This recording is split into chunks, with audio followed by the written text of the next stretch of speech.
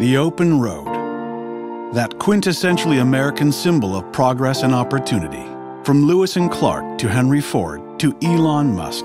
Those who have journeyed down that road have unlocked the potential within themselves and paved the way for millions who've followed. For almost 100 years, Panasonic has drawn inspiration from the endless possibilities ahead. The open road is just one of the many places where we've set our sights on accelerating human progress and moving us all toward a better world. Today, our best and brightest are advancing disruptive technologies such as the Internet of Things and big data to help motorists move through their increasingly connected lives with greater ease. What's driving us? The open road isn't so open anymore. Roadway systems are under stress, with congestion clogging an important economic pipeline and taking far too many lives.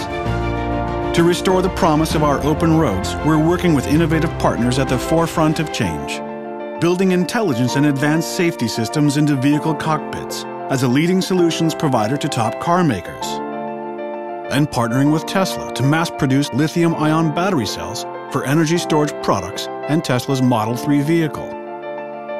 Advancing highway toll systems in Japan, building on four decades of experience, and embedding intelligence and sustainable energy into smart cities around the globe, from Fujisawa, Japan to Denver, Colorado.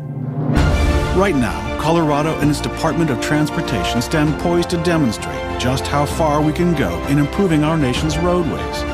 Thanks to CDOT's innovative RoadX program, the state had the foresight to see the opportunities technology could unlock.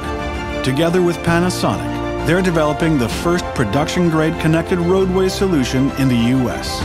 Starting with 90 miles of data-driven innovation along I-70, this solution will transform the state and the nation, giving roadway managers and drivers a whole new level of situational awareness. The expected results?